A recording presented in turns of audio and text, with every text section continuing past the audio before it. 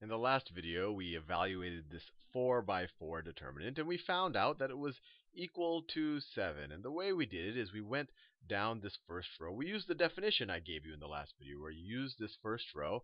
I could even write it here. We said that this was equal to 1 times the determinant of 0, 2, 0, 1, 2, 3, 3, 0, 0, minus 2 times the determinant. You cross these guys cross that row and that column out 1, 0, 2, 1, 0, 2, 2, 2, 0, 0, 3, 0. And then we went to the plus the 3 times its submatrix. I don't have to figure that out. Just cross out that row, that column. And then minus 4. We just keep switching the signs times the determinant of its submatrix. So this one had a bunch of terms, and this one's going to have a bunch of terms. Cross that row and that column out, you get 1, 0, 2, 0, 1, 2, 2, 3, 0. I'll just write here 1, 0, 2, 0, 1, 2, 2, 3, 0. And that is a completely legitimate way to figure out a determinant, and that was our definition for how to find a determinant.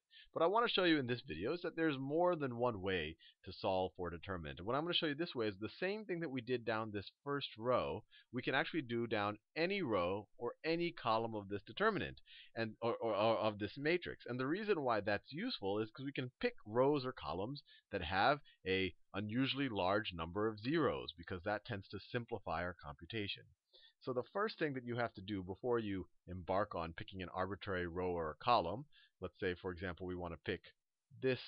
Let's do one row and one column in this example. So let's say we want to go down that row instead because we like the fact that it has a lot of zeros there. The first thing you have to do is remember the pattern. Remember, you switch signs on the coefficients. And you don't just switch signs as you go down a row. You also switch signs as you go down a column. So the general pattern for a 4 by 4 will look like this. It'll be plus minus, plus, minus, minus, plus, minus, plus, and then you get what? A plus, minus, minus, plus, plus, minus, minus, plus. It's really this checkerboard pattern. If you wanted to figure out the sign for any ij, so let's say you wanted to figure out the sign for, you know, this is 2, 2. So if you want to find the sign, let me write it this way. Let's say we have a function let me define a function. I mean, I think the checkerboard pattern is pretty clear to you, but I'll just write it down. So let's say I wanted to figure out the sign, the sign, not the not the trig identity, not the trig ratio. I want to figure out the sign of any entry where you give me an i and a j. And what you could do is you just take negative 1 to the i plus j power. So if you wanted to figure out the sign for the, let's say you are in you are in row 4 column 2. Row 4, column 2. So what will it be? You do 4 plus 2. 1, negative 1 to the 6th power is equal to 1. So that's going to be a positive, positive 1. Now, if you take this guy, let's say you want to take, let's say you want to take this guy. So this is i is equal to 2, j is equal to j is equal to 3. You're in the second row, third column. 2 plus 3 is 5, minus 1 to the fifth power is minus 1, and you have a minus there. So that's another way to think about it. But the checkerboard pattern is pretty straightforward. So now that you have the checkerboard pattern in your mind, let's go down this row. Let's go down this row. So we start with a 2, but notice that we have to multiply it by minus because you go plus, minus, plus, minus.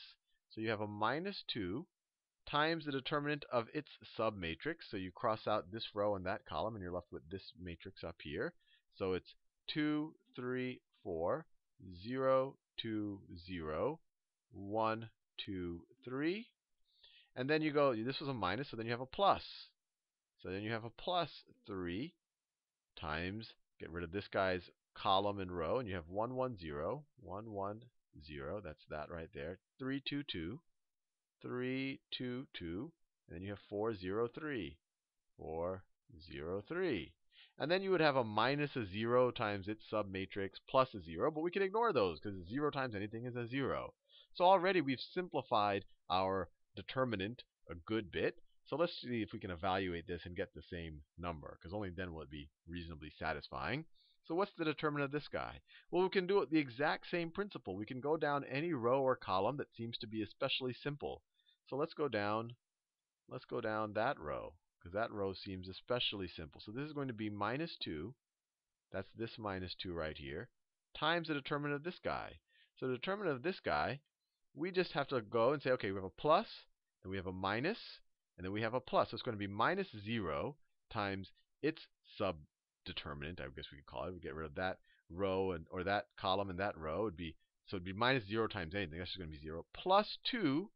So plus 2 times the determinant, get rid of its get rid of its row and its column. So it's 2, 4, 1, 3. 2, 4, 1, 3. And then you would have a and then you would have a minus 0 times this thing, but who cares what that is because you have a 0 times it. So that just simplified to that, which is nice. Let me get write it like that. And then you have plus 3 plus 3 times this thing right here. And let's pick a nice, we don't want to do the first row. We have no non-zero terms here. Let's at least do, well, let me do this row right here for a little bit of variety. We, none of the columns actually seem that interesting. They all have it at most one zero. So if we do that one right here, this is a plus, minus, plus, minus, plus. So we'll have a plus 0 times 3420. We can ignore that.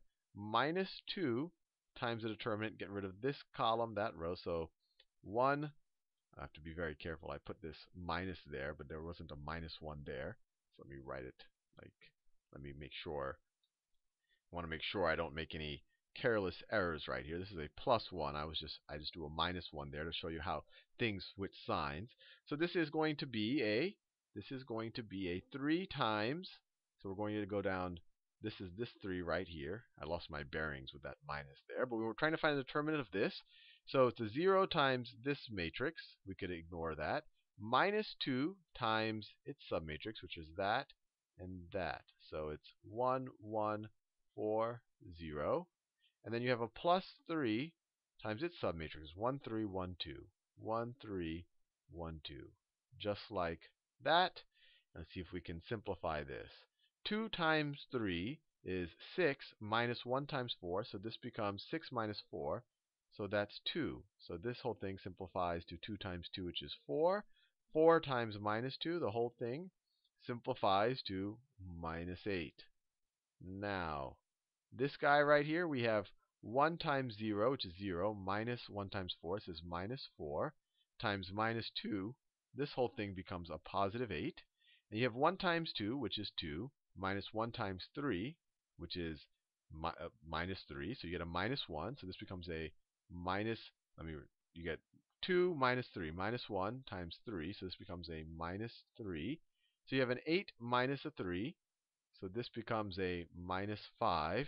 And then you have a 3, you have a 3 times, you have a 3 times a minus 5 right there. So 3 times minus 5 is going to be equal to minus 15. Let me make sure I got, oh, I made a silly mistake. If you have an 8 minus a 3, this is 8, this is minus 3, this is going to be 5. Very easy. Your brain starts to get fried if you do this long enough. And then you have a 3 times a 5, you get a 15. You get a 15.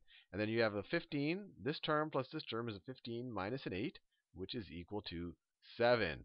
Which, lucky for us, I, I barely evaded making a careless mistake there. We got the right answer, but this was a much simpler computation than we did in the last video. And it was much simpler because we picked the row that happened to have a lot of zeros on it. So we only had two of these terms instead of four terms like we had in the last video. And you could do the same. You could pick columns that have a lot of zeros. You just have to make sure that you always use this checkerboard pattern.